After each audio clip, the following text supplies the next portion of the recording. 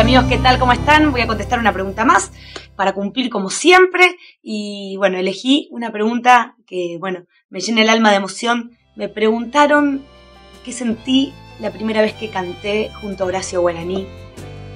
Y la verdad es muy difícil expresar porque cantar con tu ídolo y con una persona a la que tanto tiempo eh, admiré y, la vi lejana, eh, fue como, como tocar el cielo con las manos, un sueño cumplido, pero se siente como raro porque uno no cree que es real lo que está pasando.